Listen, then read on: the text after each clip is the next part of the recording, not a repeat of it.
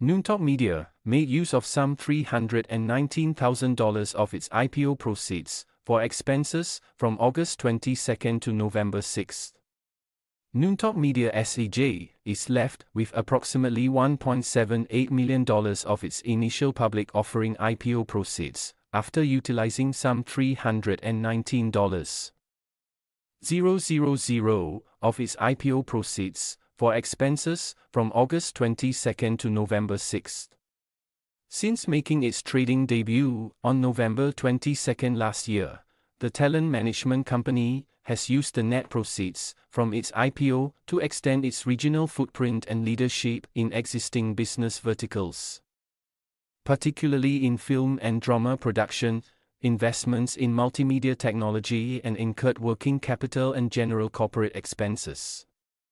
In April, Noontalk partnered with production house Oak Tree Films to finance an upcoming film.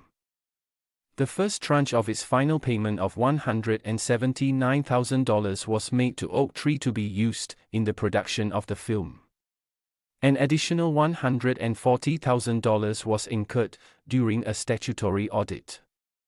Noontalk says the utilization of its net proceeds are in accordance with the intended use of proceeds from the IPO and that it will continue to make periodic announcements on the utilization of the balance of the net proceeds from the IPO. Shares in Noontalk closed flat at 9.9 cents on November 6.